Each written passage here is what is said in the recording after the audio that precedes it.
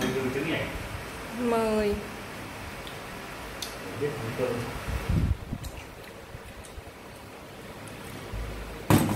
Rồi múc cơm ăn nó chưa gấp được cơm đâu. Múc cơm chứ gấp thì ừ. Có gấp được cơm không? Cơm gấp như vậy nè. Sao cái đũa không có đều vậy? Chỉnh cái đũa lại con muốn cái đũa đều á cắm ở đây nè xong rồi nhấc lên nó đều Ừ, đó đều đũa không? đều chưa Ừ. Biết cầm đũa không?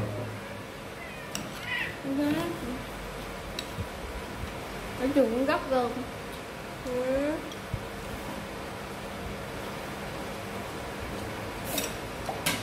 ừ, nó gấp được rồi luyện một xíu nữa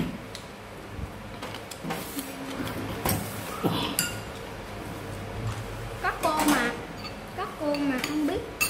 Các cô mà không biết không? Không gấp cơm á